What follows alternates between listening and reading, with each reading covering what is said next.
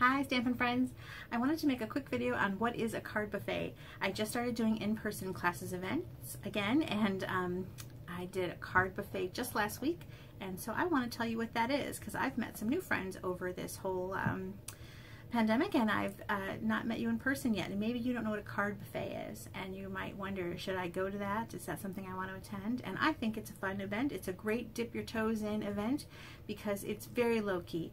You can come and go during that time and you can make only what you want to make so what I do is I put up a display of cards. Just like at a food buffet, there's a whole wide range of things that you can decide on making. So you can say, I want to make two of those and one of those and, and make only what you want. And they're 250 each. And then if you make five, then they go to five for 10. And then any card after that would be $2. So it depends on how many you want to make. Maybe you just want to make one and see how you like it. Maybe you, you need a lot of cards and you want to crank them out. It's all up to you. So anytime during that open time, you can come in and make cards. And it's a nice event where you're taking the um, thing that you want to work on, the project box that you want to work on, take it and sit at your table. And you could chit chat with a friend. Maybe you're both making the same thing. Maybe you're both making something different. But it's a nice um, time for you to talk with a friend. It's not a lot of, you don't have to listen to me. It's not a class. It's, it's um, you know, I'll come by and give you a tip if you need to. I'll, I'll, I'll uh, walk around the room and see if anybody's struggling with something or, uh, you know, if you need something but I provide everything you need, envelopes, adhesive, scissors. You don't have to have a little stash. Um, some people like to bring their own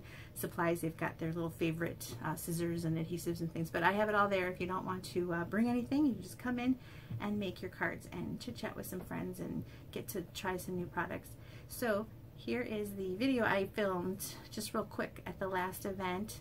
So I wanted to kind of show you the building that I use because I don't use my home. I use a building in Lombard. Um, church lets me rent a space.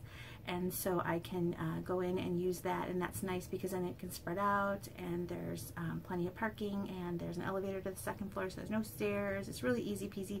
So I want to show you the building and where I'm at and then what the room setup looks like so you can know what you're you're um, missing out on. So I think that it's a fun and easy event and I would love to see more people come. So I hope that you like the video and if you have any questions about card buffet let me know. I'm in the Chicagoland area. It is open to uh, any crafter. It's even open to other demonstrators. There's a couple demonstrators there. So, you know, maybe you just don't have a group that you stamp with and you just want to get out of your house and stamp. I don't care if you're a demonstrator. Come on in and talk stamps with me. I like doing that. So, um, anyway, here's the video. So the building looks like this. I wanted to show you how to get into Stamp Camp or Card Buffet. And you'd park in the lot and you don't want to go to the main sanctuary doors. You want to come over to the side by the address. And there's a side door.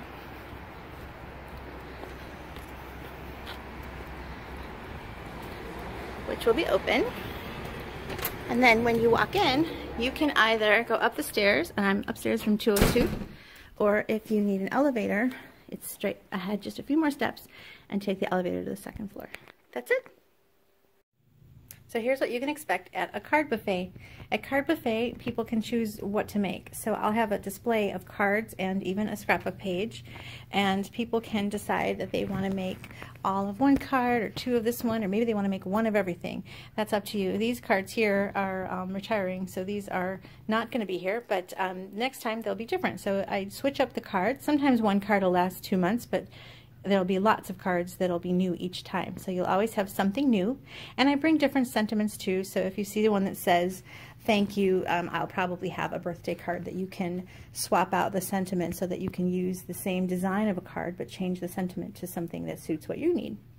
And then when you've decided what you want to make, you're going to come over here and I'll flip it here and you'll see that I've got all the boxes with everything you need inside the box. So you would just take the box with the supplies that you need and head over to one of the tables. And on the table there will be things like um, adhesive and there's scissors and all kinds of things. Anything you need is here. You don't have to bring anything. I have a cleaning little scrubby little placemats in case you need to stamp off. So you're going to just take your box and pick a seat and you can sit in, with a friend and just chit chat and this is not a formal event. This is kind of a work at your own pace event. So you can pick a spot and just sit and talk, catch up, and make just what you want to make. And that's it. And then I have a section over against the wall here where I have things like the cut and emboss machine, the heat tool if needed, things like that will be over at the side.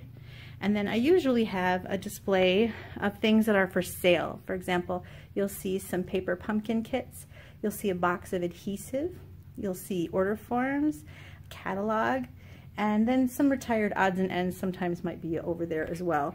I sometimes bring little boxes of odds and ends that I have found when cleaning things out. So you might see some odds and ends, but mostly it'll just be kits that are for sale, and those are real fun. You can see if I've got any of the paper pumpkin kits that you missed out on, grab a catalog, an order form, and then I have a display rack of cards that I've made for maybe my blog or my YouTube channel. So then, you know, I make a lot of cards, and if I make a mistake, or I sometimes I cut enough to make three in case as I'm working, I um, do make a mistake, I can grab another piece. So at the end, I tend to have three of every card I make.